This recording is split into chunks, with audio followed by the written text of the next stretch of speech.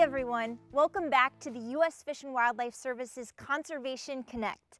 My name is Chelsea McKinney, your host, as we explore various conservation careers, new species, and different types of technology that conservation professionals use to observe wildlife. Today, we're coming to you from Blackwater National Wildlife Refuge in Cambridge, Maryland, on Maryland's eastern shore. Here, where tidal wetlands meet the waters of Chesapeake Bay, wildlife is abundant, shorebirds, marsh birds, and crabs are all plentiful.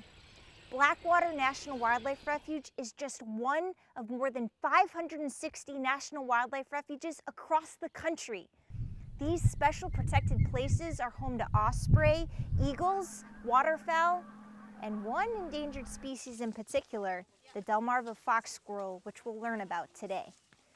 These guys are not your typical squirrel. They're bigger in size and behave differently than squirrels you might see in your backyard.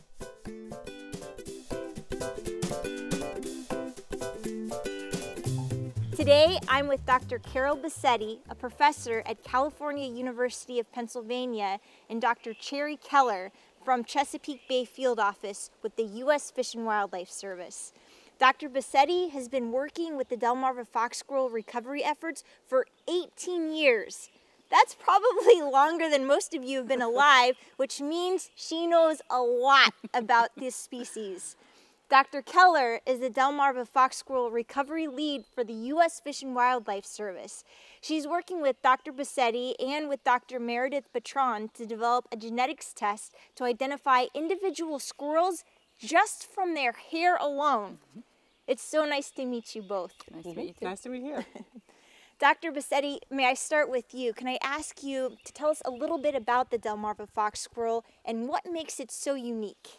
Yeah, it's very unique because for one thing, it only lives on the Delmarva Peninsula. It likes these wet, very mature forests. And that's the last thing that's unique about this species is that it is really committed to these mature forests where you can see very far in the understory. That's what they prefer.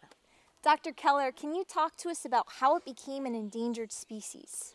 Yeah, originally this squirrel was everywhere on the Delmarva Peninsula. The reasons we think it declined in distribution were there was losses of forest as forest was being cleared to agriculture, and there was a predominant focus on raising trees for paper, which is small timber, and so trees never got to be the big mature forest that you see here. The other part is there was some overhunting in the early parts where people were squirrel hunting for subsistence for dinner, um, in the 1940s and 50s, uh, some of the early records said the Delmarva really filled a skillet. And that was one of the reasons when you're choosing between a gray squirrel or a Delmarva for dinner, I'm afraid you might pick the Delmarva. but um, hunting has been controlled now and um, hunting is better regulated now. So sure. it's, it's in better shape now for sure. When it was listed, the first thing that recovery team folks did as working with their state partners is take squirrels from a place like Dorchester where they're very abundant and start new populations on the landscape in other areas of their historic range. And that was done 16 times and 11 of those are still successful today. And that's actually a very good success very good. rate for an endangered species.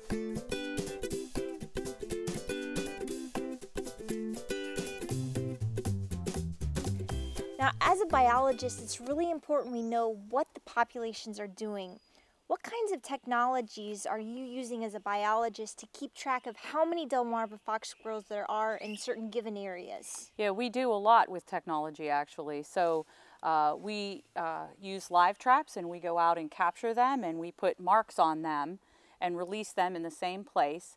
And then we look to see uh, when we come out again, how many of those that we mark do we capture again. And we can estimate population size through an analysis called mark recapture analysis.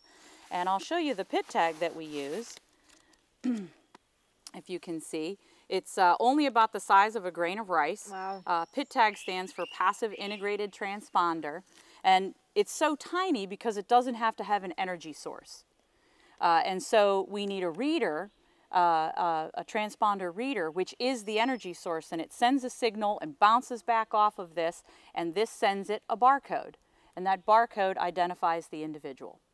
And it's the same technology that you see in the grocery store actually. When you scan an item across, then you hear that beep. Yep. That's telling the, the register, charge them for this particular item. Well, we do the same thing. We put the reader over it, it says beep, and it tells us an individual code that says this is this particular squirrel.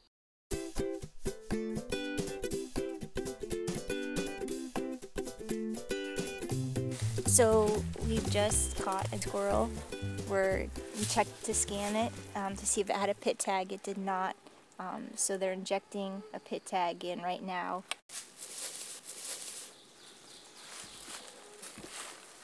We've scanned it here. So this is a pit tag scanner that reads a special ID number that allows us to identify that individual squirrel. So we are now working with some hair snags where we can pull hair, the tail hair, the long tail hair from a squirrel, and in the follicle is enough genetics, um, enough DNA to actually allow us to identify the individual. And our hope um, is that we'll be able to then tell individual animals and really be getting a sense of how many individual animals are in the woods as well as their presence. What is it that we can do, what our viewers can do to help protect wildlife? Well, I think the Delmarva fox squirrel is a good example of uh, taking an interest in a species and just paying close attention and observing. Maybe your viewers can find their own species that they're passionate about and bring the next species closer to coming off the endangered species list. Absolutely. Well, you guys have already sold me. I'm already attached to Delmarva fox squirrel too. So thank you. It'll never go away. Okay. thank you You're both well. so very much for being with us today. You're very Sure. welcome. Good to be here.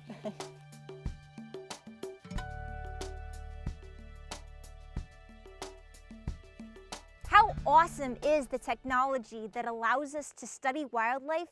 Scanners, pit tags, and genetics using animal hair are all important ways biologists study wildlife. It's amazing when we can combine our passion using the latest technology and our love of wildlife to help protect these fascinating creatures. We'll see you next time on the U.S. Fish and Wildlife Services Conservation Connect.